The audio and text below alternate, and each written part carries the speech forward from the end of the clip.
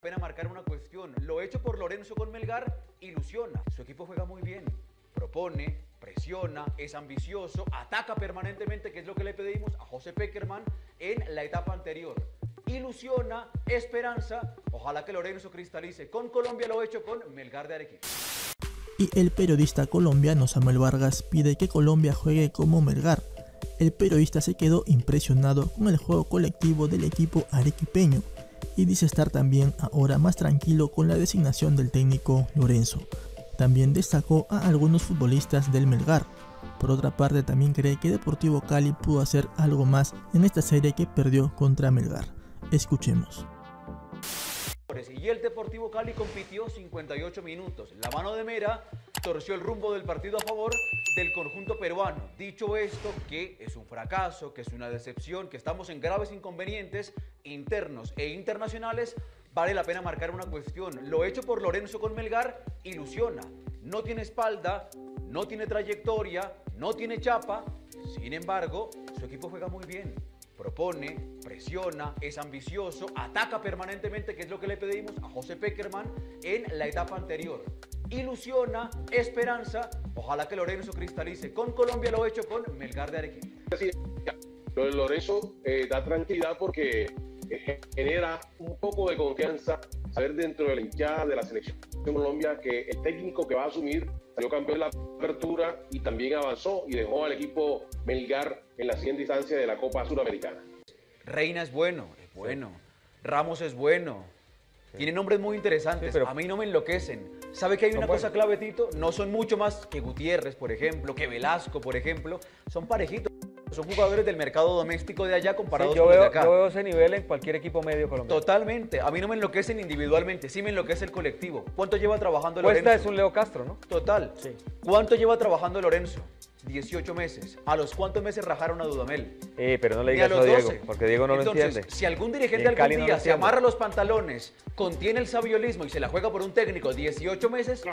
hombre, No, no. en una de esas la pegamos. Estaban con, esperando- Diego, con Diego es. El tema Rafael Dudamel para mí está mal echado del club porque, hombre, dicen que se Claro, va, se dicen que renuncia a él, pero lo manosearon. Y a los ídolos no se los manosea, menos aún jugador campeón y aún técnico campeón. Dicho Y él esto, también manoseó el club. Él no, no, no, también no. manoseó el club. No comparto, Él pero no es un debate para hoy. Lo que sí es interesante marcar es qué perfil de técnico buscan. ¿Qué quieren? ¿Un joven No que potencie futbolistas? No tienen ni idea. No Eso es lo grave, que desde la Hablan de conducción no hay una idea clara. hablan ¿Para de dónde Valle. van? ¿Qué Ya buscan? hoy salió es que Jaime de la Pava no tienen ni idea de proyecto deportivo, no saben qué técnico quieren, Pero- no saben dónde están parados. Eso es lo grave. Pero Diego, la, la cantera más importante del país, ¿en qué momento debe 80 mil millones de pesos o 90 mil millones de pesos? 93. 22 millones de dólares. La cantera que se cansaba de vender jugadores y ahora si va a vender un jugador puede vender a Velasco, qué sé yo, a Congo si lo aguanta un poquito más, a Camargo. Pero no saca más de 2, 3 millones por esos chicos. Espere, espere que ¿En Ernesto qué Herrera, momento? profe, Ernesto Herrera está molestando a Diego, ya me di cuenta, pone esa E de eliminado y color verde. Me la pillé. Ernesto es terrible, Ernesto, por favor, no hagas esa broma. No le hagas esa broma Diego, Tito, hermano. Yo quisiera saber, Tito, en mi ignorancia del fútbol, yo quisiera saber dónde se gradúa la gente con el directivo de fútbol, dónde adquieren el grado y eh, adqu- adquieren la experiencia para manejar No, es y como la política. equipo de fútbol. Es lo mismo, van Entonces, ¿de creciendo. dónde sale? Porque es que uno ve, van dando tumbos, van dando tumbos, falta coherencia, falta orden. Entonces uno dice, están improvisando. ¿En qué momento los que están al frente de este equipo este, hacen una planificación y mantienen una línea coherente de tener un equipo de fútbol profesional? ¿Dónde sale eso? Sí, sí, sí. Yo creo, yo creo, Ernesto, les pedimos disculpas a la gente porque tenemos algún problema de internet, pero ahí se le alcanza a escuchar. Yo creo, profe, que el directivo de fútbol se va haciendo en el camino con amistad, algunos que tienen dinero, se van Pero, metiendo. Tito, Sí, señor, lo escucho, por lo menos lo que escucho bien. dicho- el- Tito, es lo que ha dicho Ernesto. Es que en el fútbol colombiano tenemos dueños de equipos. No le haga otra tenemos vez, no tenemos, no tenemos directivos de fútbol.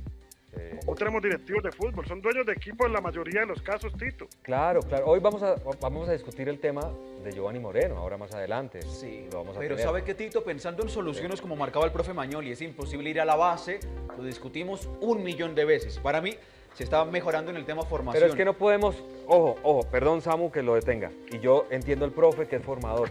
Si nos vamos a la base del problema de no sé qué, le estamos quitando nunca. la responsabilidad a los verdaderos hombres que están llevando al Deportivo Cali a la situación. Y hoy se está Y- formando bien en Colombia. Claro, y me Para mí dicen no. y los sueldos. Para mí no. Los Para mí sueldos. no, Samu. Hay un problemita y lo vengo diciendo entre profe, el pero- fútbol y el fútbol profesional Profe, pero- eso- colombiano. Eso no tiene nada Chicos, que ver con el formar. nivel Yo- de competencia es Yo, bajísimo. yo les digo, yo les digo la y les- sub-17, Profe, Tito, discúlpame. La sí, sub-17 no, pero es que- es que me lleva- con Bolivia. Profe, no, profe, no, me, me no, lleva- no me llevas a un momento. Esto de Cali es un arrastre, no de esta, de la anterior y de la anterior dirigencia. ¿Puedo, puedo, puedo escucharlos nada más, chicos, desde el Zoom? Sí, puedo, ¿no? Lo del Deportivo. Cali, Tito, Ay. Mire, Dime, eh, a usted se lo dijo Sí. el presidente Marco Caicedo en una nota y lo ratificó aquí a nivel local antier. Al cierre de diciembre, el Cali estaba en un déficit de 93 mil millones de pesos. Sí. Un equipo que tiene estadio, sede administrativa, sede deportiva, pero que tiene eh, varios lotes hipotecados, que tiene problemas de demandas.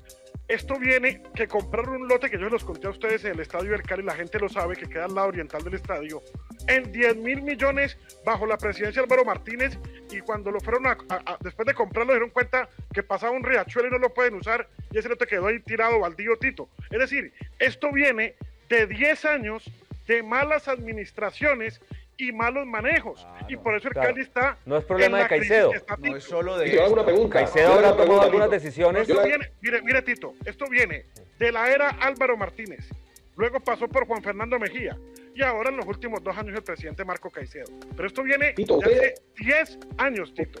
Dime, Ernest. ¿Usted ha escuchado alguna vez, Tito, usted ha escuchado alguna vez que un dirigente del fútbol colombiano estuvo en Europa capacitándose para efectos de, de mejorar el tema de la organización de un club? ¿Usted cree que los técnicos van a los campos de entrenamiento del Manchester, del Real Madrid, Atlético de Madrid?